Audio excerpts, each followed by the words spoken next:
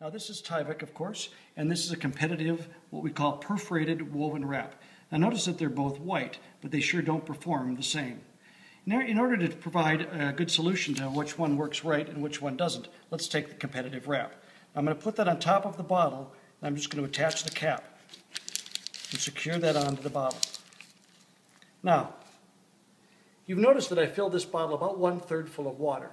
Now we expect two primary things from, from a weather barrier. One is to stop air from leaking through the uh, material.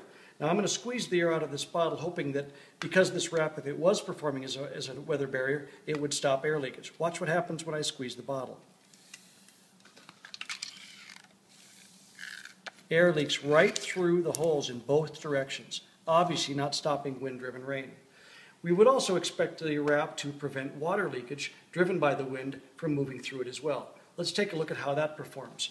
Now with the water, I'm going to tip this uh, jar over a little bit and watch what happens when I squeeze the water, the bottle. You can see all the holes in the wrap are allowing wind-driven rain to move through the product. Not a very good example of what we're trying to achieve. It doesn't stop air and it doesn't stop water.